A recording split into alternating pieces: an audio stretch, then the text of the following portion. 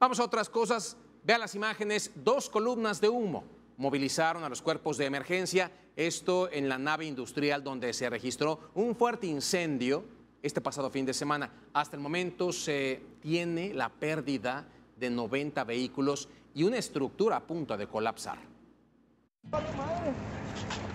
A dos días de haberse registrado un voraz incendio en una nave industrial en la colonia La Llave en Tlaquepaque, este lunes, dos columnas de humo volvieron a movilizar a los cuerpos de emergencia.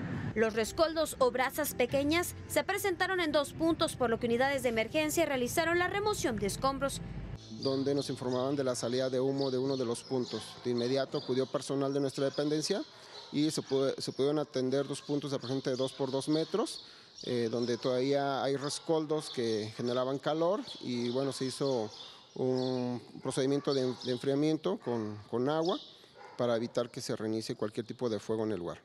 No se tiene riesgo de, que inicie fuego, eh, mucho menos de que se vaya a propagar.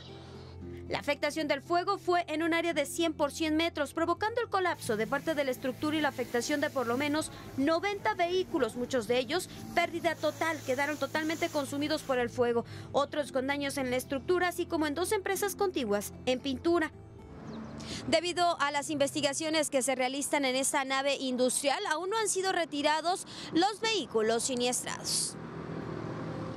Aún continúa la cuantificación de las pérdidas según los dueños, estiman que asciende a 100 mil millones de pesos. Las causas que provocaron el incendio aún se desconocen. Las investigaciones por parte de peritos del Instituto Jalisciense de Ciencias Forenses continúan. Se revisan cámaras de vigilancia de la nave industrial así como de las empresas de la zona para conocer el origen pueden ser eh, fallas mecánicas eh, en las instalaciones eléctricas, eh, algún automotor de los que estaban dentro que pudiera haber presentado alguna falla, incluso errores humanos también se pueden generar en los incendios, entonces pues esto ya sería parte de las investigaciones.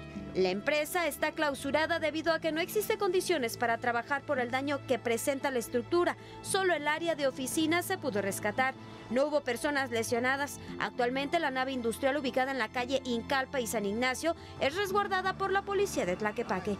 Con imágenes de Ulises Carranza, Florencia Moreno, Fuerza Informativa Azteca.